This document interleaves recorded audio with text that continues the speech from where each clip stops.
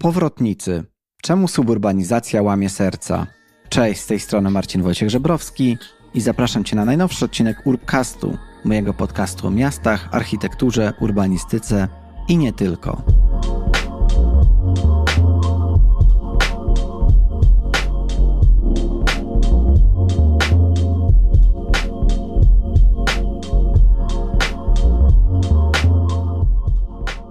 Wyprowadzasz się poza miasto, poszukując spokoju, własnego ogrodu i bezpieczeństwa swoich dzieci. Po czasie zauważasz jednak, że mieszkanie poza miastem niesie za sobą więcej wad niż zalet, więc postanawiasz do niego wrócić. Jednakże powrót ten nie jest łatwy. A dzisiaj porozmawiamy właśnie o kompleksowości migracji podmiejskiej i o tytułowych powrotnikach, czyli najnowszej książce Katarzyny Kajdanek, która jest badaczką suburbanizacji, odkrywającą przed nami subtelności decyzji migracyjnych, analizując wpływ takich decyzji na życie zawodowe, towarzyskie, jak i relacje miłosne. Katarzyna Kajdanek to doktor nauk humanistycznych, profesor Uniwersytetu Wrocławskiego, która specjalizuje się w socjologii miasta i socjologii społeczności lokalnych.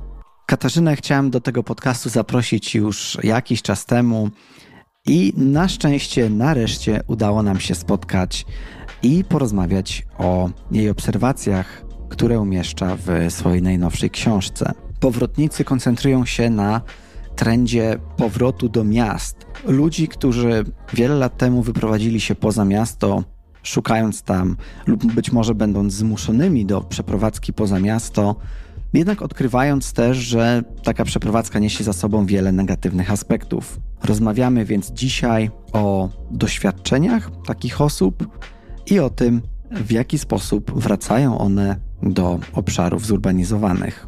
Katarzyna w swojej pracy badawczej wykorzystuje metodę perspektywy przebiegu życia, co umożliwia uchwycenie takich różnych dynamicznych aspektów z życia jednostek oraz obserwację, jak różne poziomy rzeczywistości społecznej oddziałują na życie jednostek.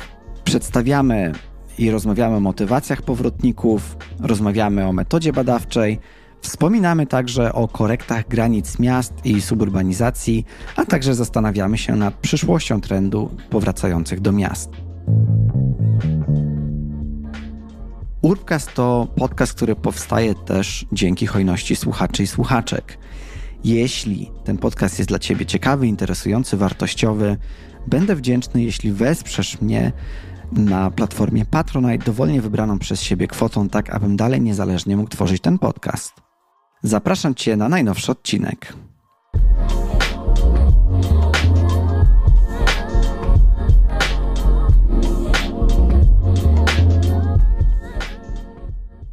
Chciałem Cię, Katarzyna, bardzo serdecznie przywitać w, w moim podcaście. Cześć. Cześć, dzięki za zaproszenie. Mimo tego, że rzeczywiście trochę czasu nam to zajęło od, od naszej ostatniej rozmowy do tego, żeby usiąść i spotkać się, chociaż wirtualnie, to wciąż jednak, jednak się spotkać i porozmawiać o, o książce, porozmawiać o suburbanizacji, o procesie odwrotnym, i zastanawia mnie w ogóle, skąd u ciebie jest takie zainteresowanie tym tematem. Ja kiedyś rozmawiałem, pamiętam, z Olgą Gitkiewicz i ona mówiła o takim wykluczeniu transportowym i na przykład pamiętam, że ona powiedziała, że u niej to trochę się to wzięło z takich własnych doświadczeń, czy u ciebie jest podobnie, że jeśli chodzi o tą suburbanizację, to, mm, to tak jakieś prywatne doświadczenia cię zainspirowały do poruszenia tego tematu w swojej twórczości i karierze akademickiej? Jest takie powiedzenie, że autorzy, zwłaszcza w literaturze pięknej i autorki, e, wszystkie książki piszą o sobie. w pracy naukowej być może jest podobnie do jakiegoś stopnia, bo, bo przecież te inspiracje, zwłaszcza w naukach społecznych, w socjologii, płyną z obserwacji innych ludzi, z obserwacji siebie. I rzeczywiście Twoja intuicja tutaj jest całkiem trafna. Ja nie mam na koncie doświadczenia suburbanizacji w tym nowoczesnym, takim wolnorynkowym kształcie w Polsce, to znaczy właśnie wyprowadzki z wielkiego miasta do, do mniejszej miejscowości, do domku jednorodzinnego, gdzieś tam wybudowanego własnymi siłami czy kupionego ale moim doświadczeniem biograficznym są przemieszczenia z obszarów miejskich do miasta, a potem e, takie drobne przeprowadzki wewnątrz struktury miejskiej pomiędzy różnymi typami osiedli. I myślę, że ta możliwość e, doświadczenia na, na własnej skórze życia w przestrzeni, która właściwie była taką bardziej tradycyjną wsią, chyba też bardziej tradycyjną w sensie polskim, to znaczy nie taką ludyczną ze wschodniej części mhm. kraju, bo ja wychowałam się y, na tak zwanych ziemiach odzyskanych, ale takiej wsi, w której dominowała na przykład dwuzawodowość, to znaczy oprócz rolnictwa ludzie się zajmowali jeszcze czymś innym w pracy zawodowej, ale były też osoby y, głównie żyjące z rolnictwa Dużą rolę odgrywało połączenie autobusowe i kolejowe z większą miejscowością, które rzutowało na rynki pracy i na strukturę zawodową tej miejscowości, a potem właśnie przeprowadzka do miasta, myślę, że dała mi taki szerszy ogląd tego, że można żyć różnie, że te wybory, które ludzie podejmują, są bardzo różne. I dlatego myślę, w wątku suburbanizacji, którą się zajmowałam, zawsze sporo miejsca zajmowały relacje pomiędzy nowymi mieszkańcami, a tymi, którzy są tak zwanymi nowymi osadnikami czy mieszkańcami napływowymi, bo też nie ukrywam, że właśnie w tej miejscowości, w której się wychowywałam, e, kilka nowych osób się pojawiło. To oczywiście nie jest klasyczna suburbanizacja, bo ta wieś jest po prostu za daleko mhm. od miasta czy od Wrocławia, ale to funkcjonowanie nowych, starych, mieszanie się mm, wzorów, wartości, też również w tej małej miejscowości można zaobserwować. Także tak, mhm. biografia, biografia myślę mhm. zawsze jest tutaj, zawsze jest tutaj istotnym elementem. No to mam podobnie też, też ten temat poruszam trochę ze względu na takie swoje własne doświadczenia, bo bo również gdzieś tam, pomimo tego, że się urodziłem w Warszawie, to mieszkałem przez większość swojego życia nastoletniego jako dziecko także w podwarszawskim Piasecznie. Co prawda to nie było jakoś daleko, ale, ale gdzieś tam doświadczyłem dojeżdżania kolejką podmiejską do Warszawy i tak dalej. I właśnie im bardziej gdzieś tam się interesowałem tematami miejskimi, urbanistyką, tym bardziej zastanawiałem się, no, ile jest w tym sensu, że tak muszę codziennie dojeżdżać i jakie są różnego rodzaju konsekwencje z tym związane. Dlatego też, też ten temat dzisiaj. Natomiast e, Twoja ostatnia książka, ta, która się ukazała rok temu, to jest też już taka obserwacja kolejnego etapu tej suburbanizacji, czyli takiego trochę powrotu do, do miast, stąd też nazwa Powrotnicy podejrzewam. Czemu zdecydowałaś się na jej napisanie i co było taką dla ciebie z kolei główną motywacją do tego? Wiesz, jeśli chodzi o motywację dotyczącą momentu i formy tej książki, to ona wynikała trochę ze zmęczenia rygorami akademii w Polsce mhm. i koncentracją na publikowaniu artykułów naukowych, zwykle pisanych po angielsku. No, angielski nie jest moim pierwszym językiem. Artykuły naukowe mają też taką bardzo surową, surowo określoną strukturę, która trochę nie pozwala mm, rozwinąć skrzydeł, a ja zawsze miałam takie ciągoty do pisania trochę innego, może trochę bliższego reportażowi, czy czemuś takiemu właśnie w duchu non-fiction. I żeby trochę odzyskać taką właśnie radość z pisania, pozwolić sobie na trochę więcej wolności, postanowiłam, że ten następny format to właśnie będzie książka. Jeśli chodzi z kolei o inspirację co do treści, to jak zaczynałam gdzieś tam zbierać materiały do książki, to był rok 2017-2018 i tak jak zresztą napisałam we wstępie do, do tej książki, miałam wtedy wrażenie, że cities are back. To znaczy, że znów jakby po tym okresie Mm, bardzo silnego odpływu i suburbanizacji, która mocno była zauważalna w statystykach, nie wspominając o zmianach w zagospodarowaniu strefy podmiejskiej, zaczęły się pojawiać osoby, zaczęły się pojawiać punktowo w miastach takie zmiany, które sugerują, że nie mamy do czynienia tylko i wyłącznie z odpływem, z wymieraniem na przykład dzielnic śródmiejskich, z niekorzystnymi zmianami demograficznymi, ale że właśnie jest jakiś ruch pozytywny, jest ruch wzrostowy. Bardzo trudno uchwytny w statystykach, ale gdzieś obserwowalny właśnie w takiej może niezbyt ustrukturyzowanej obserwacji. I zaczęły też do mnie po prostu docierać historie osób, gdzieś przez znajomych, przez znajomych znajomych, ludzi, którzy mówili o tym, że pozostawiają, sprzedają, wynajmują dom pod miastem, decydują się na powrót. Mhm. I gdzieś mniej więcej od tego 2018 roku zaczęłam szukać takich e, osób. Pierwsza fala wywiadów to był właśnie gdzieś 2018-19, potem początek 2020 roku. No, tak. No i w 2020 przyszła pandemia, która z jednej strony wywróciła e, wszystko do góry nogami, zarówno to, jak funkcjonował rynek mieszkaniowy, czy i jakie decyzje mieszkaniowe ludzie zaczęli podejmować. Ale pomyślałam sobie, że nie zrezygnuję z tego tematu dotyczącego powrotników, ponieważ mam też głębokie takie przekonanie dotyczące długofalowej perspektywy dla miast, że zwłaszcza te, które są silne i już teraz dobrze się rozwijają, one z tej ścieżki nie zejdą. Zmieni się być może ich struktura funkcjonalna, to znaczy na przykład, nie wiem, poszerzą trochę swoje granice albo wzmocnią połączenia funkcjonalne z gminami podmiejskimi, ale moim zdaniem po prostu przyszłość jest miastem i tereny wiejskie będą zmieniać swoje funkcje i będą się też e, wyludniać bo po prostu w obecnym kształcie mm, funkcjonowania gospodarek, właśnie w tym takim ujęciu makrostrukturalnym, to miasta i ich otoczenie będą dawały możliwość e, mocniejszego, mocniejszego wzrostu i realizacji też określonych potrzeb, mhm. których ludzie potrzebują. To powiedziałabym, że takie dwa, takie dwa wątki. Jeden bardziej personalny, zawodowy, akademicki, a drugi właśnie związany z takimi obserwacjami empirycznymi, mhm.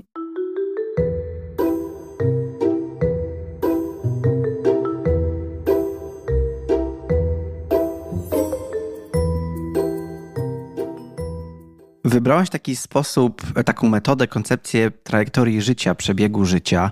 Jak to się nazywało po angielsku? Life Course Perspective. Life Course Perspective, no tak, no to tak tłumacząc tak dobrze jak możemy, to, to chyba właśnie będzie to metoda, koncepcja przebiegu życia, trajektorii życia. Czy mogłabyś powiedzieć trochę więcej o tej metodzie? Czemu akurat taka, czyli czemu taka, takie podejście właśnie ukazujące tą codzienność miejskiego życia i tych doświadczeń i takich zmieniających się trajektorii poszczególnych jednostek w, w społeczeństwie. Co ta metoda też ci dała? Jak wpłynęła na książkę? Jeśli chodzi o samą metodę, to ona oczywiście nie jest niczym nowym, bo nawet w tej lokalnej polskiej socjologii od bardzo dawna znane są metody biograficzne i z dużym sukcesem rozwijane przez kolegów i koleżanki, na przykład, nie wiem, z ośrodka łódzkiego, ale też kolegów, koleżanki z, z Wrocławia, Natomiast e, zazwyczaj ta metoda biograficzna w, w, polskiej literaturze przedmiotu nie była stosowana do analiz ruchliwości mieszkaniowej, do analiz, no, wprost mówiąc, przeprowadzek i tego, skąd one się biorą, jak oddziałują na nasze życie. Perspektywa przebiegu życia, moim zdaniem, ma taką zaletę, że z jednej strony bazuje na tym, co jest niezwykle ciekawe, czyli na indywidualnych historiach, opowiadanych głosem, dosłownie, opowiadanych głosem poszczególnych indywidualnych osób. I te historie, wiesz, one mają swój koloryt, one, one porywają. Tam są czasami straszne, czasami śmieszne szczegóły. I to, co jest interesujące w kolejnym kroku dla kogoś takiego jak ja, dla badaczki takich historii, kiedy zbierzesz ich kilka, kilkanaście czy kilkadziesiąt a potem zrobisz taki zoom out, mhm. czyli oddalisz się trochę od tego szczegółu, od jakby poszczególnych detali, zaczynasz widzieć, że te historie są do siebie podobne w bardziej ogólnym sensie, to znaczy, że widać, jak w tych historiach odzwierciedlają się pewne procesy makrospołeczne. Na przykład funkcjonowanie gmin podmiejskich pod kątem transportu publicznego, mhm. niedostatków infrastruktury, tego typu rzeczy. Jak na życie indywidualnych osób oddziałują takie kwestie jak funkcjonowanie rynku mieszkaniowego, właśnie w tym napięciu pomiędzy miastem a obszarami podmiejskimi. Jakie znaczenie mają usługi publiczne? Ich zakres, dostępność, zarówno fizyczna, jak i kosztowa, i, i jakość. I tego typu zjawiska nie są czymś, o czym poszczególne osoby mówią w swoich wywiadach, mhm. używając dokładnie tych mhm. pojęć. Mhm. Tak? Znaczy, rzadko kiedy ludzie mówią, no wiesz, Katarzyna, tutaj e, polityka mieszkaniowa państwa, coś tam, coś tam, prawda? Ludzie mówią, słuchaj, chcieliśmy kupić mieszkanie 70-metrowe, ale to było totalnie poza naszym budżetem i nie mieliśmy co z tym zrobić. I wiesz, kiedy zbierasz te historie i patrzysz na nie jako pewien bardziej szczegółowy obraz świata tu i teraz, świata społecznego opowiedzianego w historiach ludzi, to to daje ci niesamowity materiał, żeby zobaczyć te różne poziomy rzeczywistości społecznej. A dodatkowo, ponieważ to jest historia życia, to możesz też uchwycić ten aspekt dynamiczny. Czyli te osoby opowiadają ci, jak to było na początku, co się działo potem, jak jest teraz, ale też jak sobie wyobrażają mhm. przyszłość. I te wszystkie etapy w ich życiu, one są też ze sobą oczywiście bardzo mocno powiązane. Najciekawsze te wywiady biograficzne są wtedy, i, i ta metoda przebiegu życia najfajniej pracuje wtedy, kiedy y, ludzie zaczynają opowiadać swoje historie i nie musisz im przerywać. Mhm. To znaczy, czujesz, że po prostu ich życie płynie i oni mają też taką umiejętność opowiedzenia tych historii pokazania, jak z ich perspektywy te poszczególne poziomy się mhm. łączą i jak czas życia też po prostu się zmienia i jest ważnym czynnikiem zmiany. Mhm. Dla mnie było ważne spróbować zaaplikować tą perspektywę, mm, kategorię przebiegu życia właśnie do zagadnień ruchliwości mieszkaniowej, do przeprowadzek, bo tak jak mówiłam, do tej pory nikt nie próbował tego robić na polskim gruncie, korzystając z polskich historii. Były oczywiście badania migracyjne pomiędzy krajami i tak dalej, to, to jest dosyć znana, znany sposób, ale właśnie, żeby badać w ten sposób ruchliwość mieszkaniową, wydaje mi się, że moja próba jest jedną, jest jedną z pierwszych. Mhm. I dlatego też była ciekawa, no bo wiesz, wchodzi się na taki teren niewyeksplorowany i, i to poczucie, że możesz trochę poeksperymentować jest, jest też bardzo, bardzo ekscytujące. Mhm. A ile osób trzeba tak naprawdę przepytać, zrobić z nimi wywiad, żeby zaobserwować pewien trend i móc go potwierdzić, czyli rozmawiałeś z wieloma osobami, ale czy jest jakaś taka, czy jest jakiś taki wymóg właśnie liczbowy, ilościowy, który mówiłby, że od tego momentu mamy już jakiś trend, czyli ile osób musiało wrócić do miasta, żebyśmy mówili o powrotnikach jako grupie, jako trendzie? Wiesz, tutaj pewnie te osoby, które pracują na dużych liczbach, nie wiem, statystycy, demografowie, koledzy, koleżanki z obszaru na przykład geografii ekonomicznej, pewnie potrzebowaliby zobaczyć znaczącą różnicę w statystykach, a oczywiście kategoria znaczącej różnicy też tutaj nie jest, nie jest taka jasna. Trendu powrotnictwa nie widać oczywiście w statystykach. Wynika to z co najmniej dwóch przyczyn, tak myślę. Pierwsza przyczyna to taka, że nie ma obowiązku meldunkowego i te osoby, które się przeprowadzają, czy to na suburbia, czy potem decydują się na powrót, często robią to w sposób niewidoczny dla statystyk, bo na przykład wracają do mieszkań, w których były zameldowane już wcześniej, przed epizodem suburbanizacyjnym. Drugi powód jest taki, że wydaje mi się, że to jest naprawdę garstka osób. Jest to możliwość powrotu do miasta, jest po prostu przywilejem. Tak przynajmniej on wygląda w tych, w tych wywiadach, które zrobiłam do tej pory. Jeśli chodzi o taką wskazówkę dla mnie, jako badaczki, która pracuje metodami jakościowymi, to dla mnie taki sygnał pojawia się w momencie, kiedy kolejne historie nie przynoszą radykalnie nowych informacji. Mówimy wtedy w języku metodologii, e, mówimy o nasyceniu empirycznym. Ja rzeczywiście, wydaje mi się, że mm, rozmawiając z tą grupą czy z tą kategorią powrotników, dotarłam do takiego momentu nasycenia empirycznego, to znaczy ci, którzy byli mi dostępni, do których udało mi się dotrzeć, rzeczywiście w którymś momencie opowiadali historię, które ja już miałam poczucie, aha, dobra, to już słyszałam, o tym już wiem. Ten kolejny wywiad nie przynosi nowych informacji. Natomiast zdaję sobie sprawę, że daleko jest jeszcze w temacie powrotnictwa do drugiego poziomu nasycenia, który moglibyśmy nazwać nasyceniem teoretycznym. Mhm. To nasycenie teoretyczne polegałoby na tym, żeby zadać sobie pytanie: OK, a czy ktoś jeszcze wraca? Czy wracają ludzie z innych powodów, radykalnie innych powodów, niż ja zbadałam? Czy wracają ludzie w radykalnie innej sytuacji ekonomicznej, rodzinnej, społecznej, jakiejkolwiek innej? Ci moi powrotnicy, pewnie o tym też e, będziemy jeszcze za chwilkę mówić, to są zdecydowanie osoby na uprzywilejowanej pozycji ekonomicznej, o bardzo wysokich kapitałach społecznych, kulturowych, które mówiąc najprościej, mogły sobie na tą przeprowadzkę pozwolić. Mhm. Bardzo ciekawe byłoby dla mnie na przykład odkrycie takiej kategorii powrotników, którzy wyprowadzają się z innego powodu. Mhm. Na przykład właśnie związanego z tym, że to suburbia na przykład są dla nich, nie wiem, zbyt drogie, albo że suburbia okazują się być dla nich miejscem bardzo dobrym do życia, ale z jakiegoś innego powodu decydują się na mhm. powrót. Czyli chodziłoby o próbę odkrycia jakiejś segmentacji tej kategorii powrotników, bo absolutnie zgadzam się z tym i zdaję sobie z tego, y, też z tego sprawę, że ta jedna kategoria, którą ja badałam, to, to jest prawdopodobnie wycinek mhm. tego, tego zjawiska.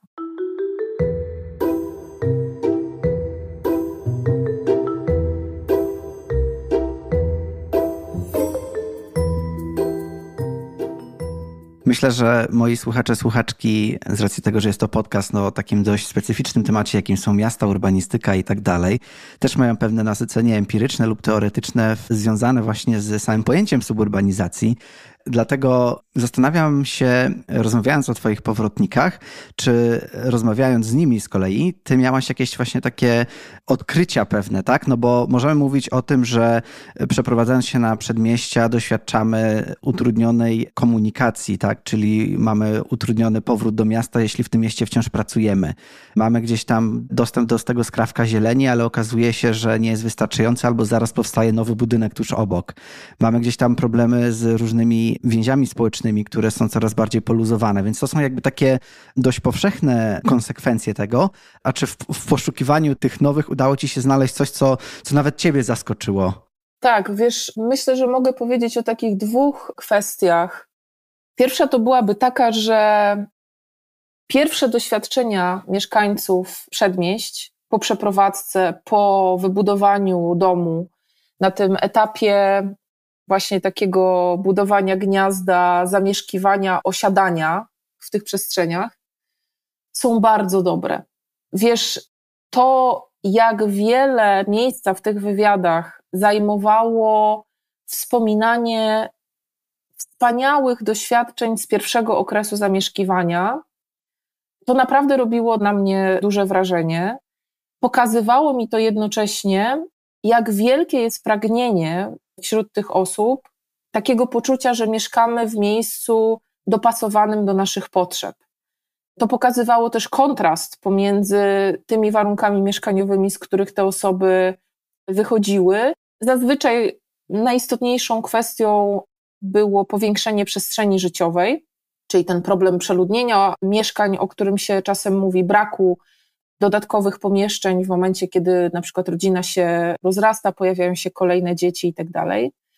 I druga kwestia, taka właśnie, która wiązała się często z tym zachwytem, to był dostęp, oprócz przestrzeni mieszkaniowej, dostęp do takiej własnej przestrzeni zielonej, czyli właśnie jakiś ogród, przydomowa zieleń, która może być urządzona po swojemu. I to rzadko kiedy tujami, tylko właśnie w jakiś taki bardziej fantazyjny sposób to odkrycie, że doświadczenie budowania domu i doświadczenie zamieszkiwania na początku jest dobre i ważne i utrzymuje swoją ważność, myślę, że było ciekawym doświadczeniem, bo wydawałoby się, że powrotnicy to będą ci, którzy głównie na te przedmieścia narzekają.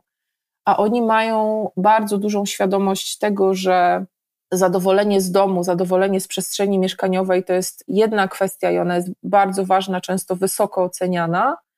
Natomiast potem wkracza właśnie ten wątek powiązań funkcjonalnych pomiędzy domem, jego otoczeniem, a tymi wszystkimi pozostałymi aspektami życia, właśnie praca, edukacja, kultura, rekreacja, relacje społeczne, samorozwój itd., tak itd., tak kiedy okazuje się, że życie w domu pod miastem zaczyna być problematyczne. To to było jedno takie odkrycie, tak, że ten pozytywny odbiór tego domu i doświadczenia przeprowadzki naprawdę jest dla wielu osób istotny, jest, jest ważnym życiowym osiągnięciem. A druga kwestia, która mnie poruszyła, to właśnie związana z dojazdami, bo wiesz, wydawałoby się, że okej, okay, no co tu można mówić o tych dojazdach, wiadomo, spędza się strasznie dużo czasu w korkach, jest jakieś takie poczucie marnowania tego czasu. No i okej, okay, jakby o czym tutaj więcej mówić. Bardzo było dla mnie interesujące odkrycie, jakie mogą być konsekwencje właśnie tych długich dojazdów i traconego czasu dla różnych kategorii osób, z którymi rozmawiałam. I tutaj szczególnie osoby młode opowiadały na przykład o tym, że te długie dojazdy zabierały im możliwość samorozwoju, realizowania swoich zainteresowań i pasji, na przykład powiązanych z przyszłym doświadczeniem.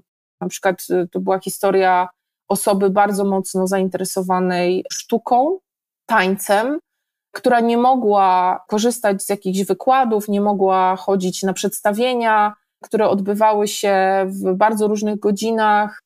Wystarczyło, że nie wiem, coś działo się źle z połączeniem komunikacyjnym do miasta, do którego chciała dojechać.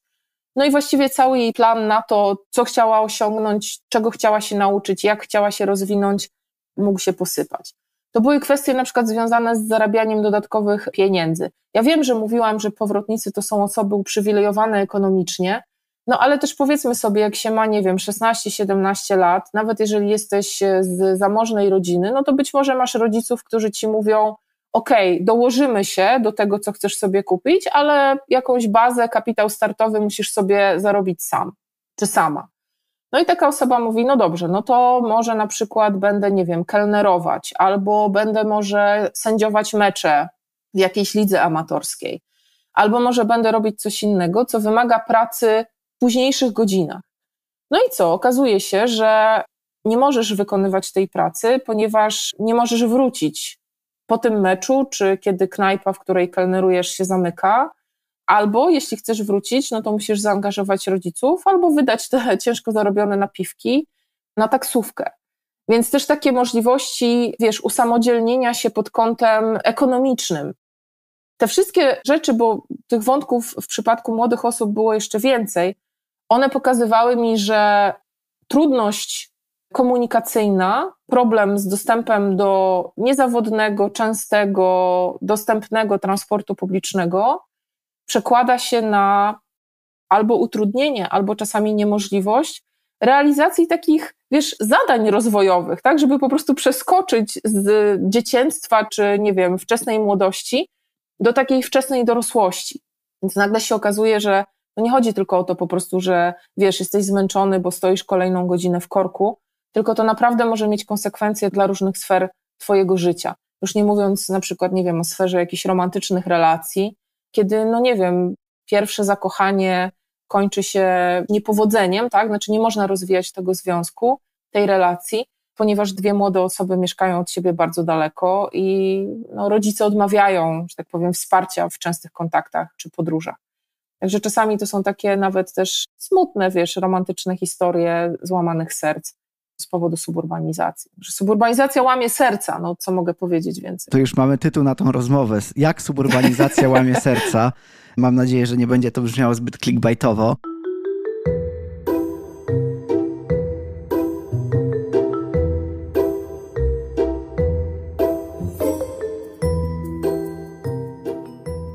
Jeszcze raz odniosę się tutaj właśnie do książki Olgi Gitkiewicz, która pisała o tym wykluczeniu transportowym, bo rzeczywiście ona tam pisze też o randkach, które się nie odbyły, tak? O tych wyjściach do kina, które się nie odbyły, o, o tych spotkaniach w pubie, tak? Które się nie odbyły przez to, że dana osoba nie mogła tam dojechać. No jest to niestety smutne. Natomiast jest to też jeden z powodów, tak, dla których te osoby, te, które mogły, zdecydowały się na powrót do tych miast. Dlatego chciałem też o tym teraz porozmawiać kim jest tak naprawdę powrotnik, powrotniczka? Czy mówimy tu właśnie o osobach, które ucierpiały dość mocno z przeprowadzki poza miasto, czyli być może na przykład seniorzy, nastolatkowie, osoby pracujące, bo każda z nich, każda z tych grup miała jakieś swoje wyzwania. No i czy tym powrotnikom, powrotniczkom udaje się jakoś zaadaptować do tego miejskiego stylu życia, bo to jest też myślę, że wyzwanie wrócić ponownie do tego zwartego miasta, zwartej struktury. Wiesz, mogę chyba pokazać to używając trochę takich ekonomicznych pojęć, to znaczy podaży i popytu. Z jednej strony, oczywiście ogromne znaczenie ma charakter tego całościowego doświadczenia życia na przedmieściach. Zdecydowanie powrotnicy, pomimo nawet tego, że na początku to życie było jakimś tam spełnieniem ich marzeń i rzeczywiście mieli bardzo dobre, bardzo pozytywne wspomnienia związane z tym miejskim domem, przestrzenią i tak dalej. Potem następuje dość w sumie długotrwały, bo ten proces trwa kilkanaście lat, w przypadku niektórych osób nawet nieco dłużej. Następuje takie, tak rozwarcie nożyc pomiędzy oczekiwaniami co do życia, co do jego jakości, następuje zmiana potrzeb, a z drugiej strony ta przestrzeń podmiejska wciąż jest albo taka sama, albo relatywnie jej jakość się pogarsza. I w którymś momencie ten rozdźwięk pomiędzy tym, jak chcą powrotnicy i powrotniczki żyć, jakiego życia oczekują, jak sobie wyobrażają swój dzień, tydzień, rok, a tym, co im oferuje obecne miejsce zamieszkania, ten rozdźwięk jest tak duży, że te osoby mówią dość. Po prostu nie jestem dłużej w stanie tak funkcjonować. To mnie kosztuje na różnych poziomach ekonomicznym, emocjonalnym, zdrowotnym, wszelakim, społecznym więcej niż czerpię z tego miejsca zamieszkania. Tylko, że samo takie odczucie, tak, że nie jestem zbyt szczęśliwa w tym miejscu, w którym mieszkam, jeszcze nie wystarczy do tego, żeby podjąć decyzję o przeprowadzce, ponieważ to jest operacja o charakterze nie tylko logistycznym, ale przede wszystkim ekonomicznym. Pamiętajmy, że wiele osób wyprowadza się na przedmieścia głównie z powodów finansowych, to znaczy dom o określonym metrażu był sposobem obejścia bardzo wysokich cen mieszkań w mieście. I teraz, jeżeli chce się wrócić, no to właściwie staje się znów w obliczu tego problemu bardzo wysokich cen nieruchomości w miastach, zwłaszcza nieruchomości, które są fajnie położone. Mówiąc fajnie, mam na myśli w miarę centralną lokalizację, dobrze skomunikowaną, z dostępem do zieleni i tak dalej. No i też o metrażu, który być może nie koresponduje tam, nie wiem, z 150 czy 200 metrowymi mieszkaniami, no ale metrażem, który nie jest w granicach metrów 40, no bo często mamy do czynienia z przeprowadzką rodzin z dziećmi. Więc to muszą być mieszkania trzy, czasami czteropokojowe. Dlatego to, co łączy moim zdaniem te różne kategorie powrotników, których ja opisałam, czyli osoby młode, rodziny z dziećmi i osoby starsze, to jest właśnie z jednej strony ten rozdźwięk, a z drugiej strony potencjał ekonomiczny przede wszystkim do tego, żeby tej przeprowadzki dokonać. Czyli te osoby albo są w stanie sprzedać, wynająć ten dom pod miastem i z tych pieniędzy częściowo finansować albo zakup, albo wynajem domu w mieście, albo są w na tyle dobrej sytuacji ekonomicznej ze względu na wykonywaną pracę, dobre zarobki, albo jakiś zakumulowany kapitał, który pozostaje do ich dyspozycji, czy do dyspozycji ich rodziny, i bazując na tym mogą dokonać tej decyzji o przeprowadzce. I to mi też pokazuje bardzo wyraźnie, i mam nadzieję, że to też zaświeciło się być może w głowach osób, które będą nas e, słuchać, że na osiedlach podmiejskich być może jest też ta bardzo ciekawa kategoria takich potencjalnych powrotników, tak? Tylko, czyli osób, które już są niezadowolone, ale niestety muszą jakoś ten dysonans sobie w głowie opracowywać, prawda? Ponieważ nie mają możliwości porzucenia tego domu podmiejskiego, nie mają możliwości wejścia na rynki mieszkaniowe w miastach. Każdy, kto śledzi sytuację na rynkach mieszkaniowych w miastach, wie, że ceny po prostu jakby przekraczają możliwości zwykłych osób, które chcą podejmować decyzje mieszkaniowe. Ceny są bardzo wysokie, koszty w porównaniu do zarobków, dochodów, no, pokazują, że to jakby są całe lata, kiedy trzeba by było, nie wiem, pracować na mieszkanie. I wiemy, że cały czas poszerza się ta kategoria osób, które nie są w stanie nawet ze swoich zarobków pochodzących z pracy, z zatrudnienia, odłożyć na wkład własny i po prostu na tych rynkach mieszkaniowych się zagnieździć, tak? Czyli jakby wskoczyć na tę drabinę nieruchomości. To jest w Polsce ogromny problem. No tak, jakby nie o tym jest ten podcast, ale też wielokrotnie ten wątek w Twoich rozmowach się, e, się pojawia. Tak, myślę, że tutaj warto podkreślić to, że właśnie nie jest to takie łatwe, żeby odwrócić tę swoją decyzję, tak? Czyli przeprowadzając się pod miasto kilka lat temu, no nie mamy pewności, że nawet jeśli będziemy chcieli sprzedać ten dom i wrócić, no to ktoś go kupi, albo ktoś go będzie chciał wynająć, albo będzie to cena, która nas usatysfakcjonuje i pozwoli na lepsze życie w mieście. Ale może idąc za taką propozycją mojego słuchacza, tutaj pozdrawiam cię serdecznie Mateusz, może można zjeść ciastko i, i mieć ciastko, Czyli chciałem bardzo krótko wspomnieć o takim wątku korekty granic miast, no bo jeśli ktoś się wyprowadza poza miasto i powiedzmy płaci podatki gdzieś tam pod miastem, ale wciąż z tego miasta korzysta, bo tam pracuje, to może rozwiązaniem byłaby taka korekta granic miasta, gdzie miasto mogłoby zainwestować w trochę więcej właśnie różnych funkcji, w transport, aby te przedmieście obsłużyć odpowiednio, w zamian za to, że ta osoba zaczęłaby płacić podatki w mieście, tak?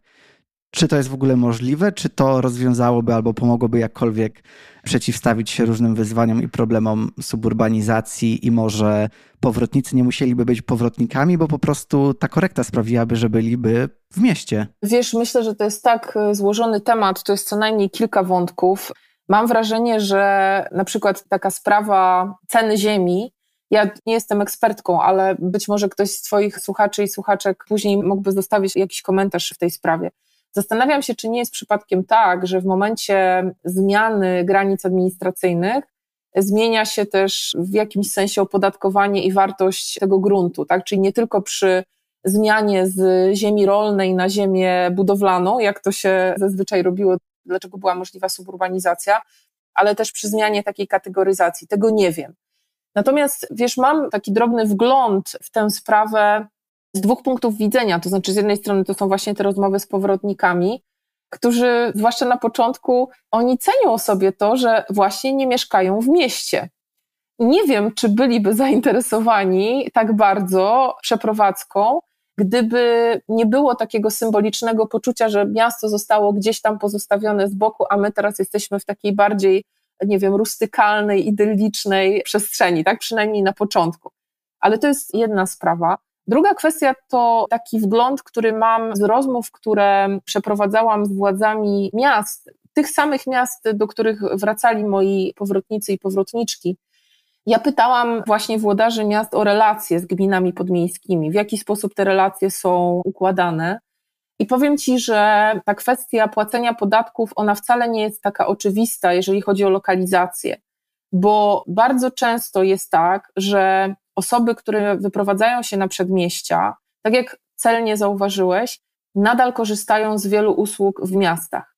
Ale zauważ też, że miasta w ostatnim czasie wprowadziły bardzo wiele takich rozwiązań dotyczących dostępu do usług publicznych, na przykład związanych z opieką żłobkową, czy opieką przedszkolną, czy biletami zniżkowymi dla uczniów.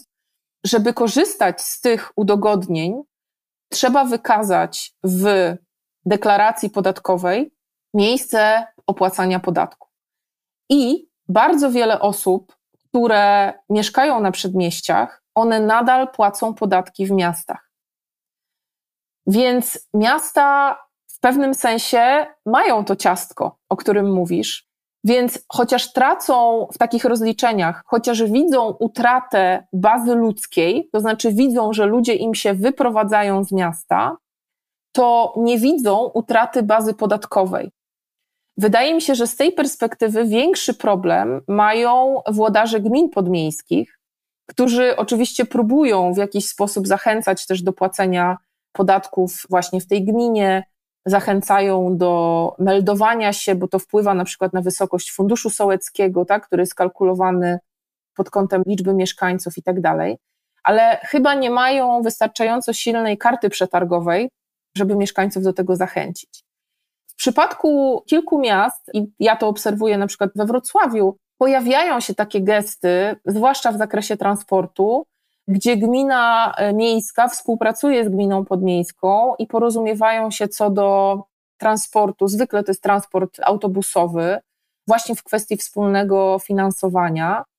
Włodarze miast e, mówili mi po prostu o tym, że rozumieją, że nie są w stanie w miastach zapewnić wystarczającej liczby mieszkań dla ludzi, ale jednocześnie potrzebują tych ludzi jako pracowników, tak, do firm, biur, urzędów i tak. Więc fakt, że te osoby mogą mieszkać pod miastem, no w pewnym sensie rozwiązuje ten problem dostępu do, do siły roboczej. Kilka osób wspominało o Rzeszowie, który to Rzeszów jest takim, no chyba najbardziej znanym w Polsce przykładem dość radykalnego poszerzania swojej przestrzeni i e, włączania gmin podmiejskich czy wsi podmiejskich do obszaru miasta. Ale powiem Ci, że w takich narracjach i w tych wywiadach nie był ten proces oceniany szczególnie korzystnie, głównie ze względu na niewystarczającą ilość konsultacji i takie poczucie, że nie do końca była tam równowaga sił, tak, że było to trochę takie działanie po prostu dużego, silnego Rzeszowa, które zadecydowało, że podejmujemy taką decyzję. Zdaję sobie z tego sprawę, że to jest bardzo skomplikowany wątek właśnie korekty granic miejskich i że o tym mógłby być osobny podcast, a poza tym, jeśli byłoby to możliwe, no to pewnie w jakimś sensie zostało wprowadzone. Także chciałem tylko ten wątek tutaj poruszyć, bo gdzieś tam pasował mi do tematu. Natomiast podsumowując już naszą rozmowę, chciałem na koniec jeszcze tak krótko to wszystko podsumować, czyli zapytać się ciebie, czy myślisz, że ten trend takiego powrotu do miast się utrzyma i da ci on możliwość do pracy na przykład nad drugą częścią książki? Wiesz, myślę, że takim momencie, w którym jesteśmy teraz, i mówię tutaj w takim sensie makrostrukturalnym, to znaczy, myślę, że te niepewności takie postpandemiczne, one wciąż jeszcze z nami są. E, mamy nakładający się na to kryzys ekonomiczny, taki pełzający, kryzys ekologiczny, wyzwania środowiskowe, które są no, właściwie osobnym, ogromnym tematem. I powiem Ci, że w tych warunkach e, takiego wielokryzysu czy polikryzysu, jak, jak się o tym czasami mówi, bardzo trudno jest mi określić, co się będzie działo, tak? I czy będziemy mieli do czynienia z jakimś jednym głównym trendem, który, że tak powiem, uporządkuje sytuację pomiędzy miastami, obszarami zurbanizowanymi mocniej i słabiej i tak dalej. Jeśli miałabym ryzykować jakieś przewidywania, to chyba moje przewidywanie byłoby takie, że sprawy się skomplikują. To znaczy, będziemy mieli do czynienia z wieloma procesami, które będą się działy jednocześnie. To znaczy, będzie kategoria osób, które nadal będą się wyprowadzać na przedmieścia, albo nawet jeszcze trochę dalej od miasta. No bo zobacz, rośnie kategoria tych osób, które decydują się na to, żeby i mają taką możliwość, żeby pracować zdalnie, żeby pracować w jakichś takich systemach tylko z częściową obecnością w biurze, co odkleja te osoby od funkcjonowania w wielkich układach miejskich. Z drugiej strony rośnie też liczba osób, które decydują się świadomie na bezdzietność, czyli ta kwestia, że musisz wysyłać dziecko do szkoły, w związku z tym musisz być gdzieś blisko jakiejś infrastruktury, ona też zostaje uchylona. Więc myślę, że będzie rosnąć taka kategoria osób, które dużo swobodniej będą mogły podejmować taką decyzję.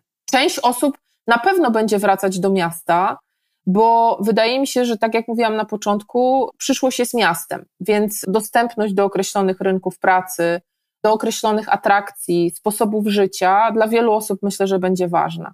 Ale też nie traciłabym z punktu widzenia czy z perspektywy widzenia takich procesów wyprowadzek na obszary peryferyjne, daleko od wszystkiego, tak? Ja też mam taki projekt zatytułowany Rzucić wszystko i wyjechać w Bieszczady, który właśnie dotyczy wyprowadzek na tereny kompletnie peryferyjne i funkcjonowania właśnie tam z powodów takich lifestyle'owych po prostu. Nie?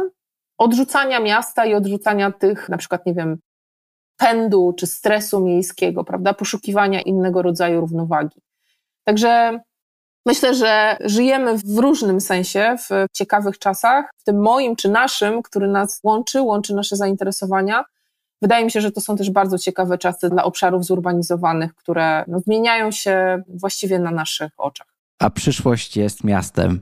Katarzyna, dziękuję Ci bardzo w takim razie za tą bardzo miłą, ciekawą rozmowę, luźno związaną z Twoją książką. Natomiast myślę, że poruszyliśmy też różne inne wątki, z czego jestem bardzo zadowolony. No i cieszę się, że wreszcie udało nam się spotkać. Ja też bardzo Ci dziękuję za zaproszenie. Zachęcam też, e, jeśli są takie osoby, które, nie wiem, chciałyby się może jeszcze podzielić swoją historią powrotnictwa, albo właśnie przynależą do tej kategorii, której doświadczenie jest e, zupełnie inne niż to, które opisuję w książce. Ja też będę bardzo wdzięczna za kontakt. Dość łatwo można mnie znaleźć e, w internecie, także bardzo zachęcam i bardzo zapraszam. Dodaję też kontakt do Ciebie w opisie tego odcinka. Super. Do książki również. Także niezależnie od tego, czy chcesz podzielić się z Katarzyną swoją historią, czy na przykład dowiedzieć się więcej, czy poczytać książkę, to tam znajdziesz odpowiednie linki. A ja, Katarzyna, jeszcze raz Ci bardzo dziękuję. Dzięki, pozdrawiam. Dzięki wielkie za wysłuchanie najnowszej rozmowy z Katarzyną Kajdanek. Mam nadzieję, że wiesz już więcej na temat nie tyle co samej suburbanizacji, ale właśnie tego trendu odwrotnego, czyli powrotu do miast i z czym e, taki powrót się wiąże, jakie wyzwania na swojej drodze taka osoba spotyka. Jeśli sam lub sama jesteś przykładem powrotnika, powrotniczki, to odezwij się do mnie, bo bardzo chętnie porozmawiam o Twoich doświadczeniach i o tym, czy masz właśnie podobne spostrzeżenia, jak przedstawione osoby w książce Powrotnicy. Jeśli ten odcinek był dla Ciebie wartościowy, podziel się nim przynajmniej z jedną osobą i wesprzyj ten podcast na platformie Patronite. E, dzięki temu niezależnie dalej będę mógł tworzyć dla Ciebie ten podcast. Do usłyszenia niebawem.